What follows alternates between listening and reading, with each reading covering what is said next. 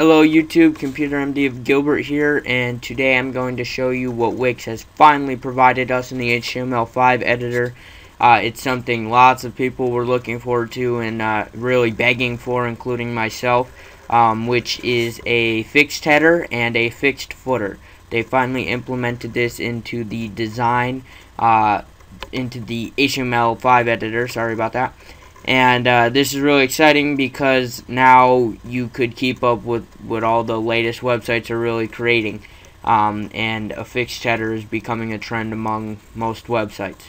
So it's super simple how you do this. Um, this video besides me rambling should take 15 seconds.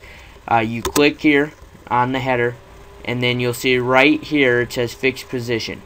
Um, you either click that on or off. I'm gonna have it on once you do that, uh, your header is fixed. Okay, so now it'll move with the screen. I'll show you in a preview.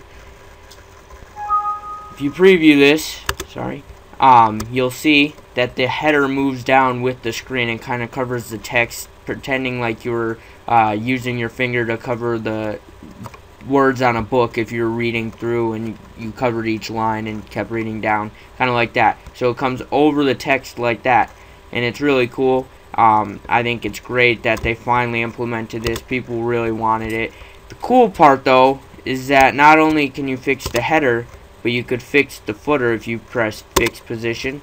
And once you do that, you could preview it again, and you'll see that your footer just kind of stays there like it would regularly, but uh, it stays on the screen, and you mainly see it at all times. And uh, another thing you'll notice is when I take the fixed footer off, you'll see this. Um, you'll still be able to. Uh, there's there's really not much of a difference, but um, I don't personally like the for this website at least that I just created, which is for my uh, new. I'm doing some PC repair. Um, I don't personally like a fixed footer, but that's just my opinion for this website. Some of you may need one. Uh, but fixed header, definitely. I love the new uh, Wix design.